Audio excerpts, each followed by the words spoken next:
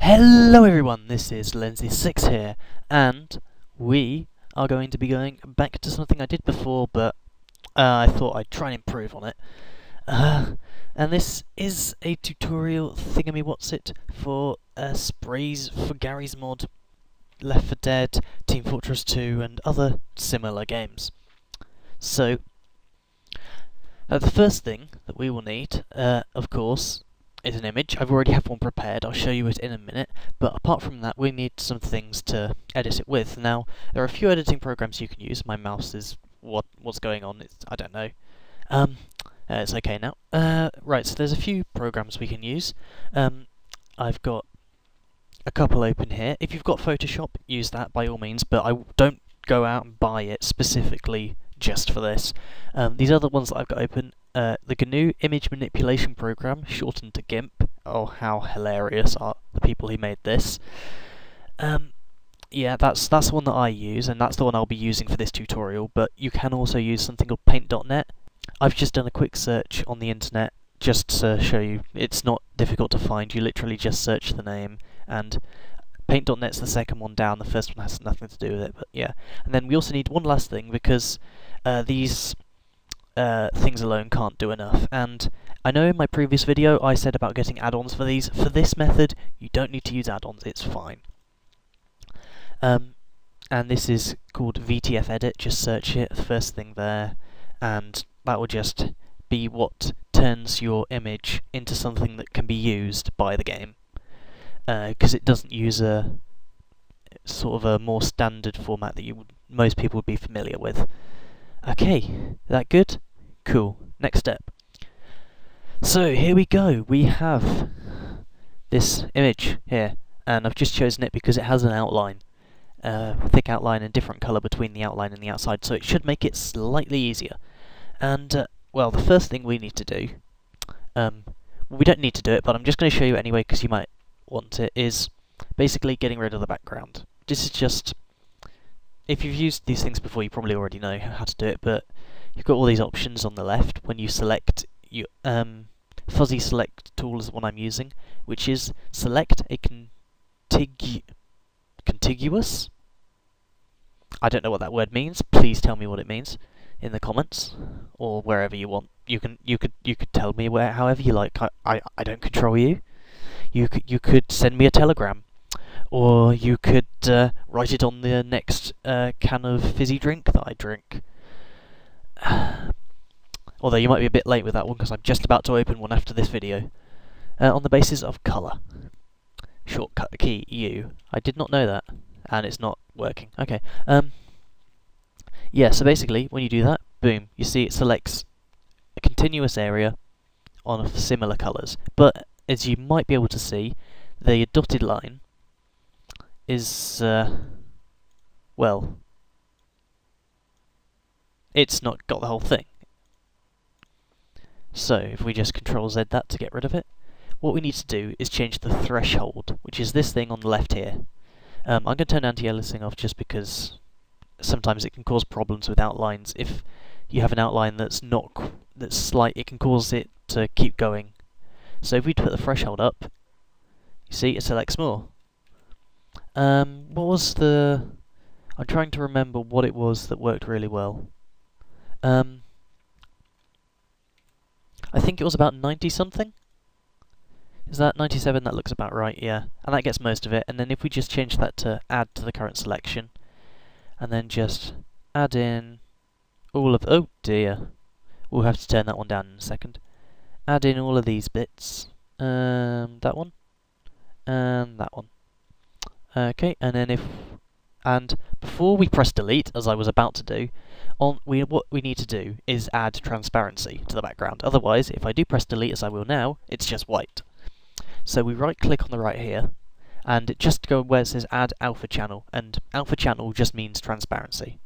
So if we do that now, we get squares, and those squares mean it's going to be transparent, but they obviously can't show real transparency. And then I'll just see, can I select, oh, uh, undo that thing, um, yeah, yeah, that's keep selecting too much, so I'll just turn the threshold, actually no, I'll finish off the letters first.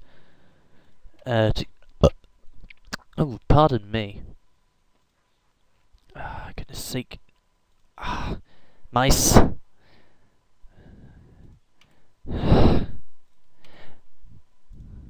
why do we keep doing that? Right, threshold down. There we go.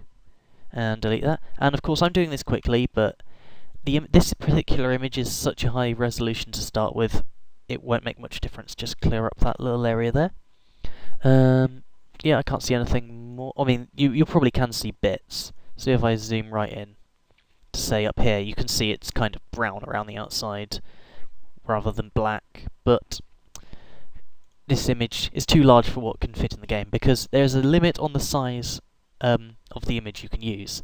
Um, it's about 500 and something kilobytes. I'm not sure exactly. Um, so the image is going to have to be shrunk, but first we're going to change the canvas size, so we'll have the width... Well, actually, to keep the image as large as possible first, actually, what I should be doing is uh, auto-cropping the image. And that just cut, if I just undo that, you see it cut a bit off the top and sides. Okay, so now, canvas size, and change that so it's a square, because it has to be a square. That's one of the first things. And then, go on image, scale image, and we need our width and height to be to a power, or 2 to the power n, or in other words, um, basically it's the numbers where when you multiply it by starting with 2, every number you multiply by 2 goes up. So it starts 2, 4, 8. Wait, I've got that wrong, haven't I? no, yeah, 2, 4, 8, 16, 32, 64, 128, 256, 512. Okay, but um, going up beyond 512, the image doesn't quite fit most of the time, especially with transparency. So we'll change that to 512, and the image is now this, and sure it's less, it's not as high quality. Uh, most of that brown's already gone as you can see, but yeah, the lack of quality doesn't matter because of the size this is going to be. Alright, so we've got this, and now uh, oh yeah, by the way, if you right click it brings up the menu at the top. I'm just doing that because my toolbox is in the way. So we go File, and then Export As. And why has it gone to that folder? Okay, um, uh, where do I save it normally? Shorty... Where is it? Documents. Um, YT, is that it? Oh yeah, and you probably see I've already... I tried this out before to make sure it works, and it does. Um, so I'm going to rename that as... I don't know... Blubfish. It really doesn't make any difference. And saving it as a .tga. I'm not sh I think it can work with other files, but TGA just works. Don't and also I've seen RLE compression doesn't seem to work either. I'm not quite sure why. Um, but if it does work for you, do tell me. Okay, so we've got that. That's pretty good. Next step, I think. Right, so VTFEdit right here. So, first off we need to import, not open, because if we do that it wants a VMT or VTF, and, uh, well, we don't want that. So if we go import, and that's changed the file type, and now I have to go and search through my thing to get it. I'm terribly sorry everyone. And then it's this one? Yeah. Okay, and the important thing is, make sure Generate Maps is off. I'm not sure what the difference of texture type is, I'm going to be honest, but animated texture works anyway. Oh, and we don't need resize because we already did that. We could, again, you can just take any random image and have it resize it for you. But, of course, the problem there is that it will probably lose quality and, you know, best to sort it out yourself and make sure everything's right. Now, as you can probably see, I can't zoom that in anymore, I'm sorry, um, that the outline looks kind of horrifying. There are quite a lot of weird looking colours around the outside, but honestly, oh, and I forgot, oh, I forgot to cut some bits out, damn it. oh well. Uh, that won't ma most of this won't matter apart from the bit that I just forgot about because I'm silly. And then we save as, which saves it as that, and now we need to uh, search for the file we need to put it in. Now, if you've got 32-bit Windows, it'll be in program files. If you have 64-bit, it'll be in program files times 86. You need to find that out because otherwise things won't work. However, you'll know which kind you have by and where the files are. So I go into here, and I will see that Steam is in there. We're only saving the one relevant to the kind of Windows you have. Um, and then Steam Apps, which is the games, Common, and then choose your game. I'm going to use Garry's Mod uh, because that's where I normally do these things. And going to Garry's Mod again for this one. Then Materials, VGUI, or VGUI even, uh, logos, and then call it whatever you want to do. Tutorial shizzle. Save. Okay, that's good. And then this is another thing that I don't know if you have to do it, but uh, I like to do it anyway. It's go into Tools, Create VMT file, Create, save one in Logos, save one in UI, and then that should be good. And next up, we are going to test to make sure that this actually works. Back in a sec, guys. Righty ho, guys. Here we are.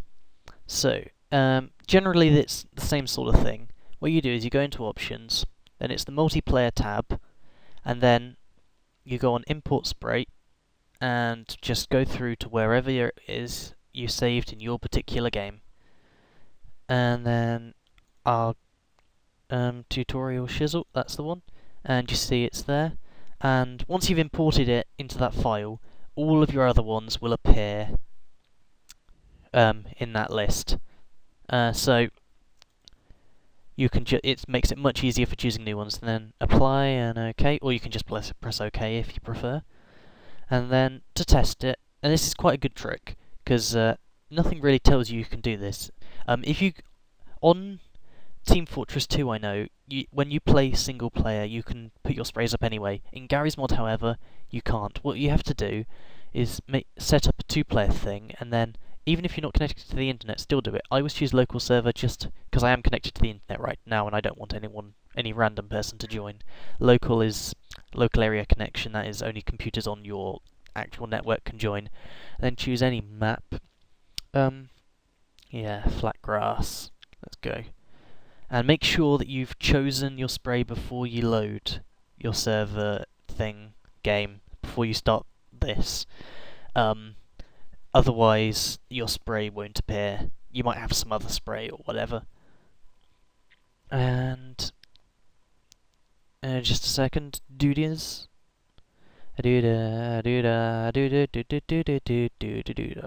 Yeah, um, I have this in windowed mode because that's how I normally play it, and also for this recording I couldn't be bothered to open Fraps just to do it separately. So I press that, and boom. And you can see just there, I forgot to edit these bits out because I'm a fool. But yeah, there's a little brown bit. Okay, this wasn't my best edit of all time, but that's because I was doing it quickly. It's you can go and sort things out better yourself. I just didn't want to waste all of your time, or all of your times. So uh, yeah, I hope you enjoyed this, guys, and um, well, um, I don't know. Ask any questions. Do give me feedback. When I say give me feedback, I mean like give me feedback ask, tell me what you think of my video, honestly. You know, even if you don't like it, please just tell me, because I can't improve otherwise, can I? And so, until next time, guys, goodbye.